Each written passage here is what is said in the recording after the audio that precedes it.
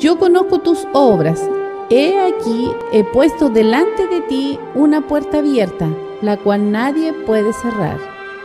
Al que venciere, yo lo haré columna en el templo de mi Dios, y nunca más saldrá de allí.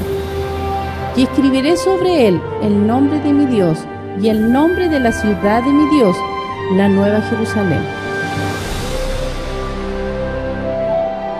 Puente Alto, tu nombre no es más delincuencia, has sido llamada Tierra Santa, la ciudad de bendición.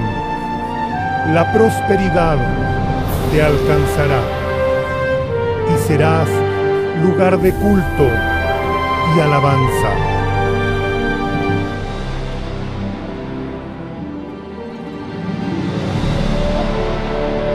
Muchos pueblos vendrán tu multiplicación será al ciento por uno.